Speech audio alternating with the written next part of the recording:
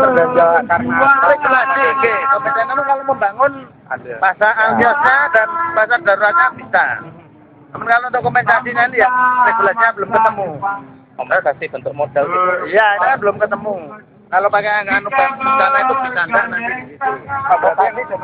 karena kita belum punya APBD eh, apa anu BPD BPBD kalau sudah punya BPBD mungkin ya ada kos-kos seperti itu Pak kalau yang 500 juta kemarin itu untuk yang darurat. ya 500 juta itu untuk permanennya membangun 22 dan pasar darurat aja daruratnya.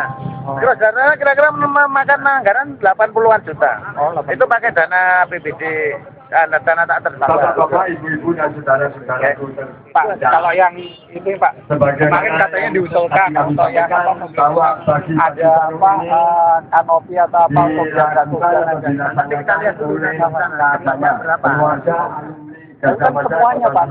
Nah, yang sepeda motor di basement. Ya. ada pada